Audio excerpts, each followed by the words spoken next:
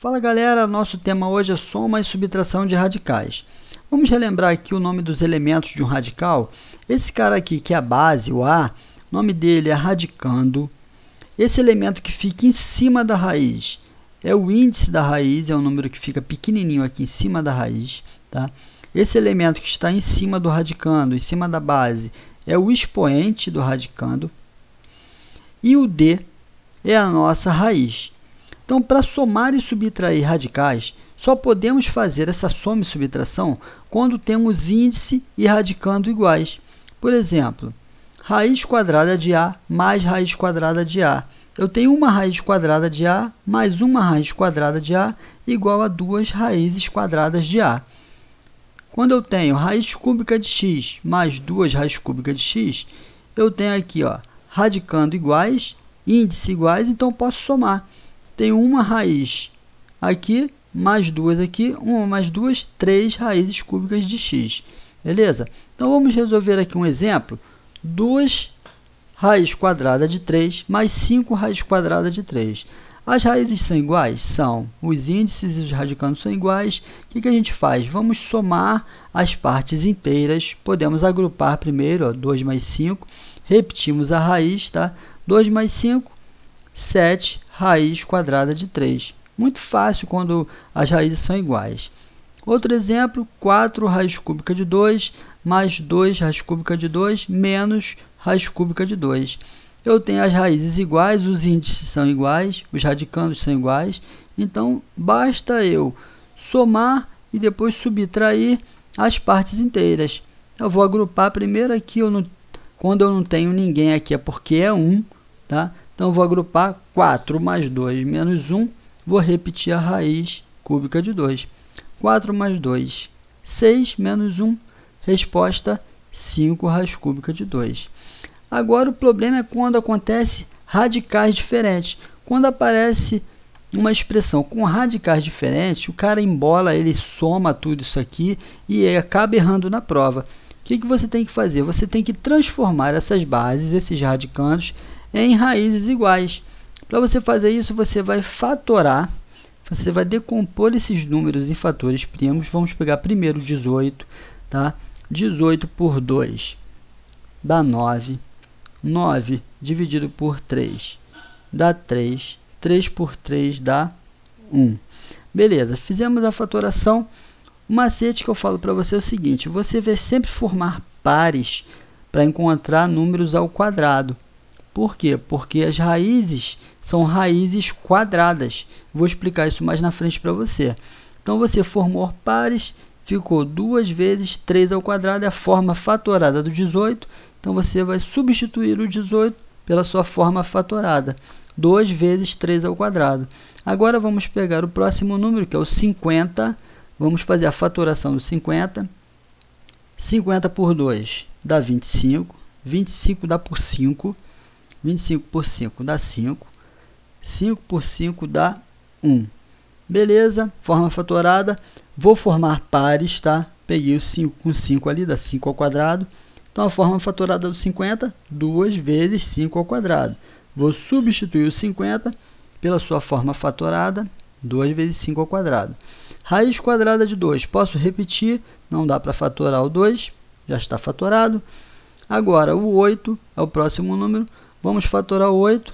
8 dá por 2, dá 4. 4 por 2 dá 2. 2 por 2 dá 1. Agora que tá, olha só. 2 vezes 2 vezes 2 é igual a 2 ao cubo. Porém, aquele macete que eu falei, pegue e forma pares para formar números ao quadrado. Tá? Então, você ficou com 2 vezes 2 ao quadrado, porque aqui é a raiz quadrada. Então, você vai substituir o 8 pela sua for forma fatorada, que é 2 vezes 2 ao quadrado. Por que, que eu fiz isso? Como a raiz é raiz quadrada, vou relembrar você que quando eu tenho a raiz na base A, radicando é A, raiz enésima de A elevado a M, eu posso repetir essa base, tá? elevado a um expoente fracionário, onde esse M, que é o expoente, vai ser o numerador da fração e o n, que é o índice, vai ser o denominador. Ou seja, vou transformar isso aqui em uma base exponencial. Macete. Olha só. Quem está na sombra vai para o sol. Quem está no sol vai para a sombra. Quem está aqui embaixo vai para cima. Quem está em cima vai para baixo. Esse é o macete. Exemplo. Se eu tenho uma raiz de A, raiz cúbica de A elevada a 3, notem que o expoente é igual ao índice. Desenvolvendo essa propriedade que a gente acabou de ver, olha só, repetimos a base. Quem está na sombra vai para o Sol e quem está no Sol vai para a sombra. Como são iguais, 3 dividido por 3 vai ficar A elevado a 1. Todo número elevado a 1 é igual a ele mesmo. Então, o que, que a gente nota? Quando eu tenho o índice e o expoente iguais, podemos simplificar essa raiz com expoente, que vai dar o mesmo resultado da base. Então, com isso, nessa expressão aqui, ó, eu tenho 3 ao quadrado dentro de uma raiz quadrada. Então, eu tenho o índice, aqui a raiz quadrada, e o expoente iguais. Eu posso simplificar essa raiz com expoente e jogar esse 3 para fora da raiz. Resumindo, todo número que estiver ao quadrado dentro da raiz quadrada, você corta o expoente com a raiz e joga ele para fora. Quem sobrou lá dentro? O 2. Então, eu joguei o 3 para fora, sobrou o 2 dentro da raiz. Da mesma forma, eu tenho aqui raiz quadrada de 2 vezes 5 ao quadrado. O 5 está ao quadrado dentro da raiz quadrada. Posso simplificar esse 2 com a raiz, jogo o 5 para fora, sobra quem lá dentro? O 2. Então, eu joguei o 5 para fora, sobrou 2 lá dentro. Menos raiz de 2, eu posso repetir. Aqui também nessa raiz eu tenho um 2 ao quadrado, eu posso simplificar esse quadrado com a raiz, jogo ele para fora, sobra esse 2 lá dentro. Ó. Joguei ele para fora, sobrou 2. Agora sim, eu tenho uma soma e subtração de radicais iguais. Ó. Vou somar as partes inteiras, tá? Ah, coloquei um aqui porque é uma raiz quadrada. Então, agrupando essas partes inteiras, ficou 3 mais 5, menos 1, menos 2. Repito a raiz de 2. Fazendo essa soma aí, ó, resposta 5 raiz quadrada de 2. Fala galera, eu sou o professor Robson Lias. Se você gostou do vídeo, deixe seu like. Não esqueça de deixar o seu comentário aqui embaixo, suas sugestões, suas críticas, seu pedido de aula, algum assunto que você queira que eu poste aqui para você. E não esqueça de se inscrever no canal. Clique aqui no botãozinho se inscreva para você não deixar de perder todas as nossas aulas.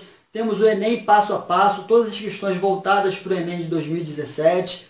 Também temos questões de nível médio, questões de álgebra, geometria, aritmética. Temos truques matemáticos também. Estou ensinando vários truques de matemática para você fazer com seu professor, seus colegas, tá? Ah, e as aulas eu posto todas terças e sextas-feiras. Todas terças e sextas temos aulas novas para você.